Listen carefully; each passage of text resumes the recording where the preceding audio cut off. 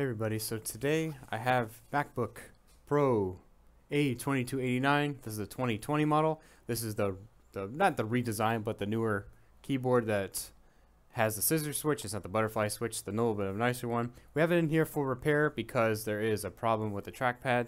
It does work.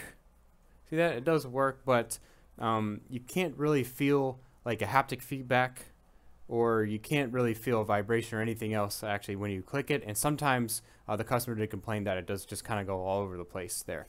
You can see there's actually a lot of components on here and lots of things can go wrong, uh, especially if there's any type of spill or if there's anything else going on. Or sometimes it could just go bad over time. We've actually seen them just get be defective, not only just from liquid spills but anything else. But we're just going to be showing you how to do a replacement today. So let's just get right into it and uh, show you how to, guys how to do it. And there's just a few screws. Okay, you just want to kind of get underneath it, ah, like that. Ah.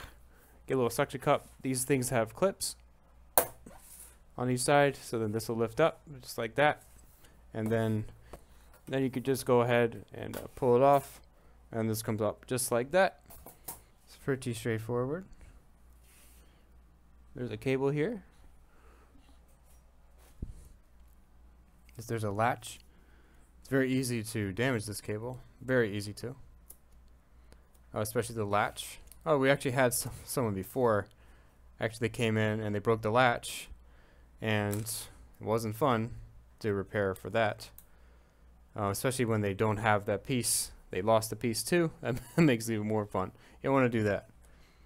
Um, so that's pretty much the data line there. Now we want to make sure we remove the plus and minus.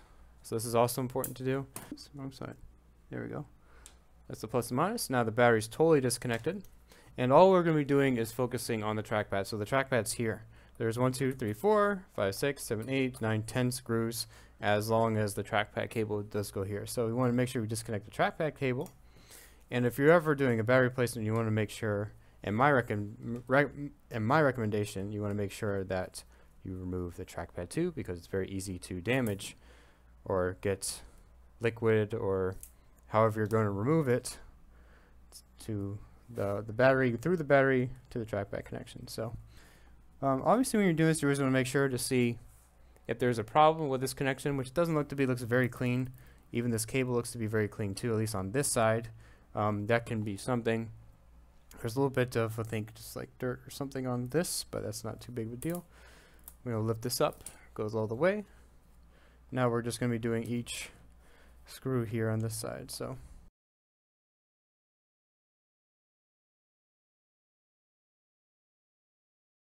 towel and place before we totally let this one go so it's not going to damage the screen you can put like underneath or you could have done it even before and especially if it's if there's any dirt or liquid or something you want to make sure that basically put like a little bit of a towel under here so it's not going to get all, all over the screen there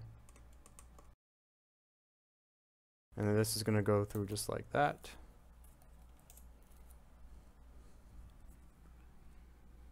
And here you go. And you see that all up here? There's all the corrosion. How nasty it is, all that blue, nasty color. And you see the cable's been a little bit impacted. Um, might as well get another cable too. We can put on um, if you're doing just the trackpad, uh, you would have to remove this cable. There's a little bit of adhesive actually on this side of the cable. We can lift this up a little bit. You can feel it. And then what we want to do is we want to take the latch up here. Because there's a latch that goes there. You can just use your fingernail. You see that lifted. And then this will slightly pull out. But it, again, it's still a little bit of adhesive there. If you want to put a little bit of heat, you can do that too. But I'm pretty familiar with this. So I'm just going to lift it a little bit and then pull it out very gently. Then it comes out right there. So there's your sticky under here. It's a little bit yeast. So just for example too, so if you're not doing it, you can just kind of skip this part, but if you're doing it, um, you need a cable, or if you're not sure if you had liquid damage, you definitely want to make sure that, that you put in another cable.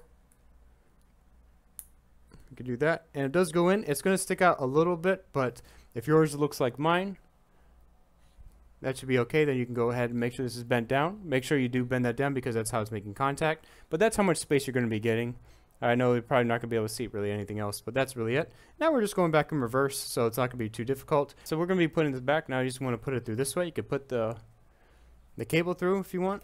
So uh, what I like to do is I like to hold it and then maybe at least get the top two screws in, and then you can do the rest. But it's nothing super difficult.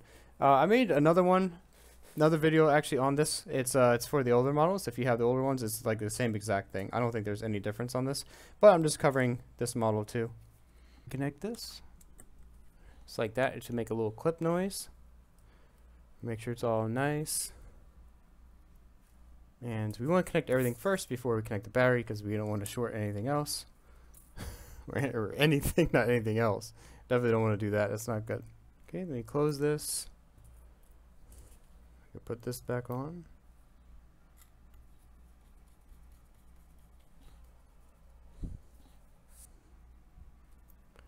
Clip.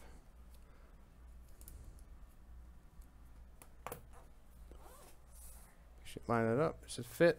And then I like to lift this up because I don't want to put pressure on the screen. But that, ah, you can get, you can get your clicks in there. It works. You guys see that? And here's our so nice vibration, nice haptic feedback that actually did come back. So anyways guys, I hope you guys enjoyed watching this video on how to replace trackpad on the A2289 2020 13 inch Space Gray MacBook Pro. If you did, please like. It really does help us a lot. Subscribe for more content. We have lots of repairs on these. We have videos on this one, uh, also for like other models too. If you're interested, go ahead and check that out. Um, if you have that one in, instead, it's pretty much the same process though. It's very similar. But hope you guys are watching. See you guys in the next video. Thanks a lot. Take care. Bye.